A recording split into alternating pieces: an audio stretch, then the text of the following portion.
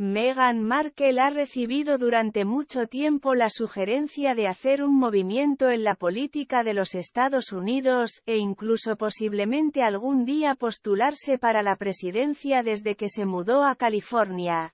Se ha advertido a Meghan Markle que tienes que ser Terminator y recuperarte cuando te derriban para triunfar en la política estadounidense.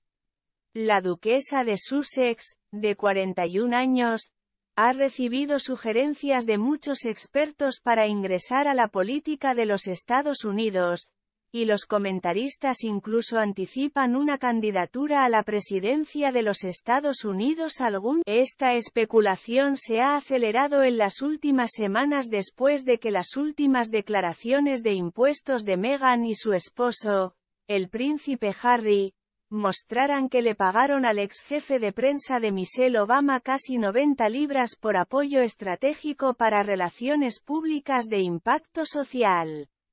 Pero un comentarista real ha puesto en duda si Meghan sería capaz de manejar la naturaleza feroz de la política estadounidense, citando su turbulenta relación con la prensa británica. La presentadora de Sky News Australia, Rita Panahi, dijo en su programa, ¿la gobernadora Meghan Markle? ¿La senadora Meghan Markle? Oh Dios no lo quiera, la presidenta Meghan Markle. No se equivoquen, hay una razón por la que los Sussex terminaron en California. La etapa en la que los sin talento y bien conectados pueden ingresar al Partido Demócrata, en busca de un futuro político. Si hay que creer en los informes, Meghan podría estar buscando un futuro en la política.